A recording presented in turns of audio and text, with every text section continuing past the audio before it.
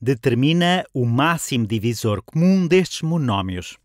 O máximo divisor comum é o maior número pelo qual dois números podem ser divididos, se estivermos a falar em números, ou, neste caso, o maior monómio pelo qual estes dois monómios podem ser divididos. Temos de ter cuidado quando falamos em máximo no contexto de expressões algébricas como esta. É máximo no sentido que inclui o maior número de divisores de cada um destes monómios. Não é necessariamente o número maior possível, porque pode dar-se o caso de algumas destas variáveis na parte algébrica poderem ter valores negativos ou valores positivos inferiores a 1. E, nesse último caso, se os elevarmos ao quadrado, dará um número menor. Mas acho que, mesmo sem aprofundarmos muito a teoria, depois de resolvermos o exercício, vão entender isto melhor. Para encontrarmos o máximo divisor comum, vamos decompor cada um destes números naquilo a que podemos chamar fatores primos.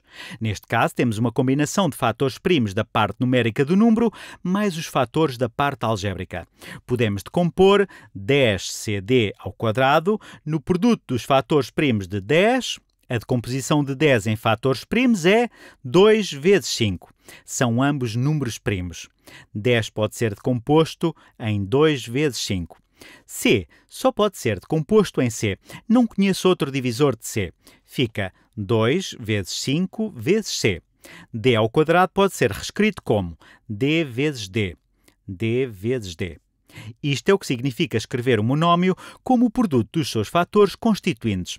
A parte numérica é composta pelos fatores primos do número. Relativamente à parte algébrica, limitamos-nos a expandir os poentes. Façamos o mesmo em relação a 25c ao cubo vezes d ao quadrado. 25 é o mesmo que 5 vezes 5. Isto é igual a 5 vezes 5. c ao cubo é vezes c vezes c, vezes c e d ao quadrado vezes d ao quadrado é o mesmo que d vezes d. Qual é o máximo divisor comum neste contexto?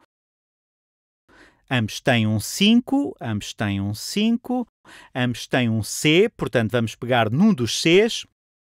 E por fim, ambos têm dois Ds, ambos têm dois Ds. Então, o máximo divisor comum, neste caso, o máximo divisor comum destes dois monómios será composto pelos divisores que têm em comum. Portanto, será igual a este 5 vezes um C, porque só há um C em comum, vezes D vezes D, porque ambos têm dois Ds. Assim fica 5CD ao quadrado. Este é o máximo divisor comum. Devemos dizer isto com as devidas reservas, uma vez que depende de C ser positivo ou negativo e de D ser maior ou menor do que 1.